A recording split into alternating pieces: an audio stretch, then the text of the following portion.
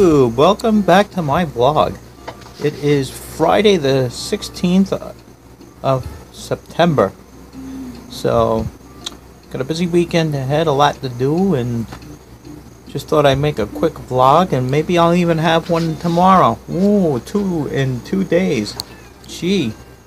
So, my question is, what do you think? Should I keep the beard?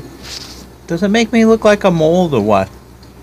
Even though I am only 43, it's not old. Ah, well. I hope everybody has a good weekend. It's going to be a scorcher. Enjoy tomorrow while you can because I hear Sunday and the rest of next week, woo wee, we are going to get into Indian summer. But it's not really Indian summer. It's still summer, technically, on the calendar. So,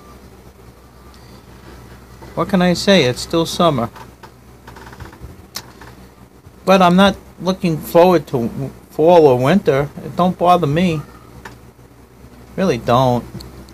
So, I hope everybody has a good weekend and I'm going to try to make a vlog, a small little vlog tomorrow throughout everything that I'm doing. Alrighty? Alrighty everybody, have a good weekend. And as always, see you next video. Ciao.